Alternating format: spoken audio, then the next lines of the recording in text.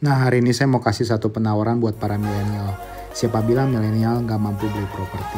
Cuman kadang properti nggak jadi prioritas aja buat kebanyakan teman-teman milenial. Nah apartemen ini punya konsep hidden furniture. Kalau dilihat sekilas apartemen ini kok kayak kosong nggak ada apa-apanya ya. Tapi justru ini keunikannya. Banyak space yang bisa dihasilkan di apartemen mungil ini. Jadi ruangan ini bisa jadi studio, jadi ruang makan, ruang diskusi, ruang nonton, bahkan jadi kamar tidur. Nah memang saat shoot video ini kondisinya masih baru banget, jadi belum ada aksesoris apa-apa. Tapi nanti di akhir video ini ada foto yang sudah dikasih aksesoris. Jadi lebih kebayang asiknya punya apartemen ini. Nah, ini seperti shelf ya tadi, ternyata waktu di balik shelf ini ada kamar tidurnya, cukup luas juga. Asik banget ya, punya ruang rahasia, jadi berasa-berasa kayak punya bed cave sendiri kayak si Batman gitu loh. Nah, wardrobe-nya juga ini kalau sehari-hari kondisinya juga tersembunyi di balik tirai-tirai.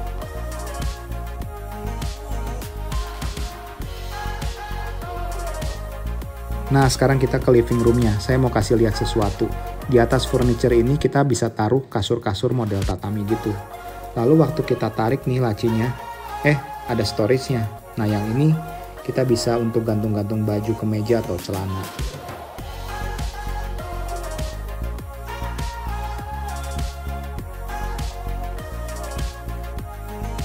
Nah, kalau yang ini bisa untuk baju kaos yang dilipat-lipat.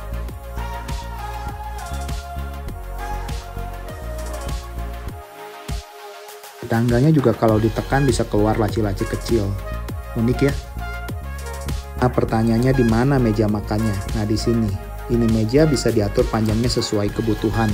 Bisa sampai panjang 3 meter loh. Jadi meja kerja. Nah, kalau udah nggak dipakai dan kita butuh space, bisa dilipat dan dimasukkan jadi rapi banget. Di kamar utamanya kalau kita buka tirai jendelanya, kita juga akan menemukan hidden view dari apartemen ini. Selain bisa lihat pemandangan pegunungan dan kota, kita juga bisa lihat jogging track dan lapangan basket.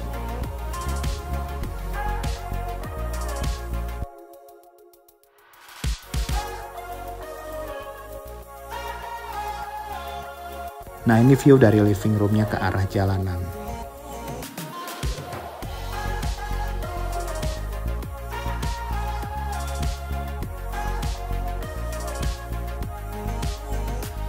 Selain kitchennya yang ciamik banget, ada satu lagi yang hidden.